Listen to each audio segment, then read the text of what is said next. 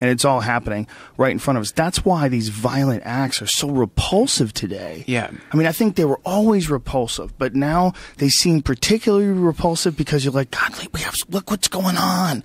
Look how much crazy shit is going on. If we're still having religious murders when all this is going on, Yeah.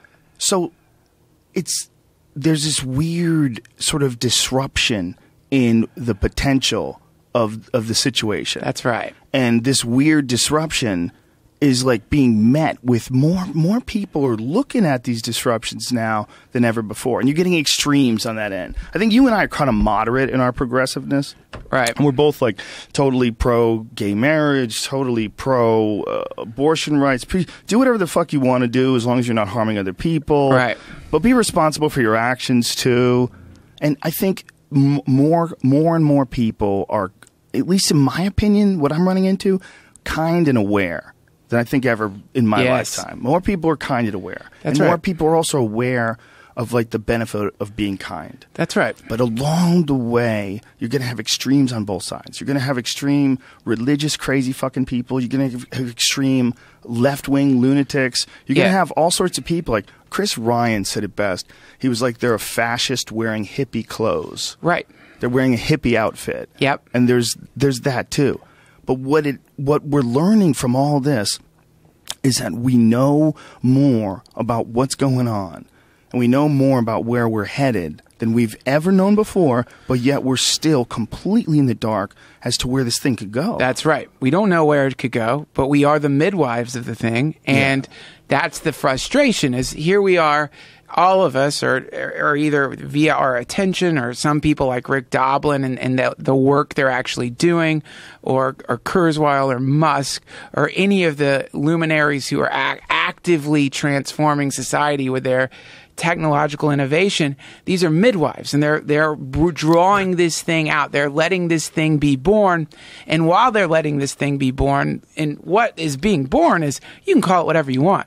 You can call it a renaissance. You can call it the techno messiah. You can call it whatever you want to call it, but this thing being born has not existed, as far as we're aware, on this planet. And if it did, it was before one of those meteor impacts you talk about sometime. But here we are ha- delivering this thing, and in the fucking delivery room, in this incredible period in human history, where we're looking at complete control over our genetics, solving some of the world's greatest problems, solving like curing diseases uh, that we thought we never could cure.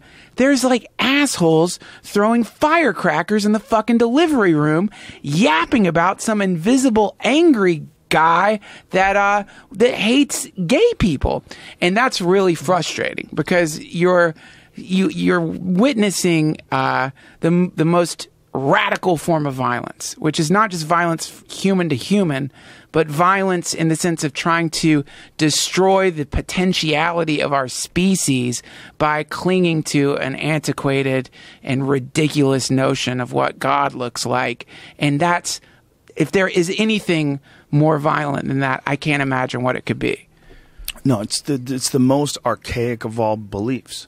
The most archaic of all beliefs is this magic man that you've never met wants you to kill people who don't believe in him. Yes. That that's bananas. And this is this is one of those things that's just been around for long enough to get traction and it's become a normal part of life. But if you tried to introduce it today, if most people lived a secular life and you tried to introduce radical Christianity, right today, Yes. There would be one of the most ridiculous conversations you could ever have with people. They would be, the, the news would report on it. Right. It would be like they would talk about the effort.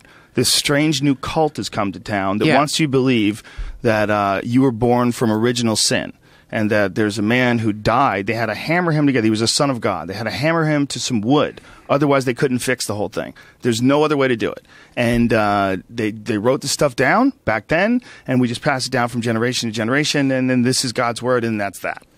Sounds like something if it didn't exist, like if you were on the bus with someone and they started saying it, you'd switch seats because you're like, shit, man, I sat next to the fucking crazy person. What what was it?